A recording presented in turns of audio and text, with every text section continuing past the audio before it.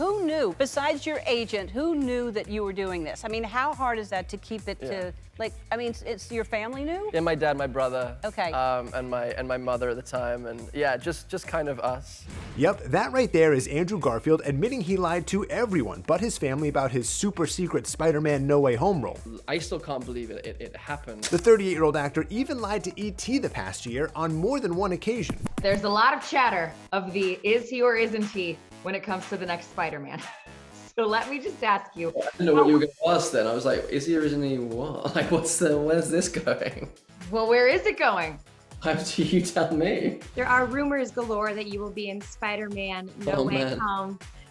you Oh boy! What- Listen, what people are talking about is a really cool idea, and and and again, I haven't received a phone call. But now the movie is out, so when Andrew visited the Ellen DeGeneres show, he revealed how many years he had to keep up the secret. How long did it take to make the movie? It was like a couple of years, right? It- it- how many years did you lie to people? that is an unfair framing.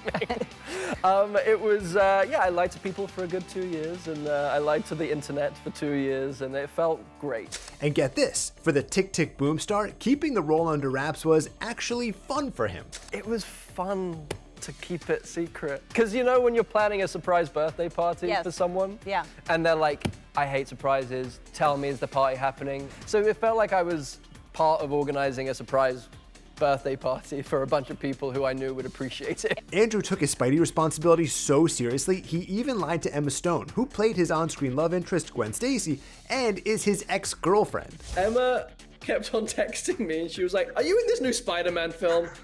And I was like, I don't know what you're talking about. What? You're stonewalling Emma too? She was like, Shut up, just tell me. I'm like, I honestly don't know what. I kept it going even with her. It was hilarious. To the end? You never admitted to Emma? No. And then she and then she saw it. She was like, "You're a jerk." The Oscar nominee first played Peter Parker in 2012's The Amazing Spider Man and reprised his role for the film's 2014 sequel, The Amazing Spider Man 2. Should maybe uh, consider coming in through the lobby. also, my father is under the impression that you require psychiatric attention. Peter, what happened? What happened? You should see the other guy. And now that fans have seen him in the Spidey suit once again, Andrew feels a sense of relief. And I'm so happy that I get to talk about it now. Here's what the actor told E.T. about his big return to the MCU. And the fact that I get to be one of those people wearing the suit next to my actual Spider-Man hero, Tobey Maguire, and the, the, the brilliant, incredibly talented, heartfelt, funny, good, sweet, perfect Spider-Man of Tom Holland, and then I get to be the middle brother, and I get to be like in awe of my older brother and in full longing to protect my younger brother, and just like, and also there's something spiritual that that kind of happened and happens, and that we were exploring in the film, which is like, you know, archetypally the character is so alone. Mm-hmm.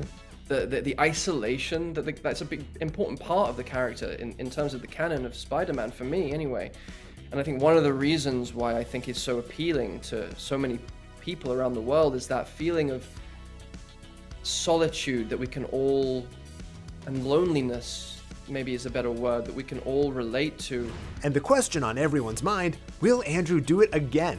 You know, never say never. I mean, it's such, it's, it's a character that's always gonna be so meaningful to me and so beautiful to me, and I'm open.